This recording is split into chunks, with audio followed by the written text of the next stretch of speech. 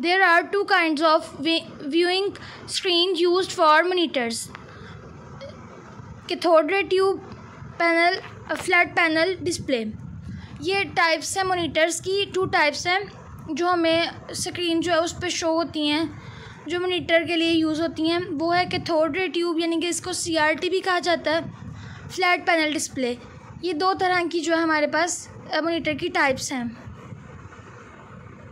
First one is C R T monitor ये होते हैं सी आर टी मोनीटर ये पहले बहुत ज़्यादा यूज़ होते थे। अब इस तरह के यूज़ नहीं होते, अब फ्लैट पैनल यूज़ होते हैं।